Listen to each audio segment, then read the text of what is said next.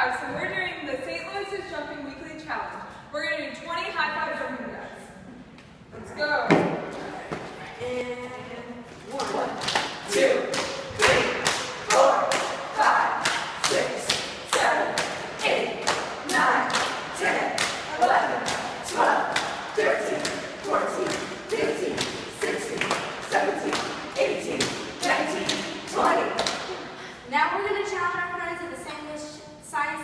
to do the same thing and challenge them for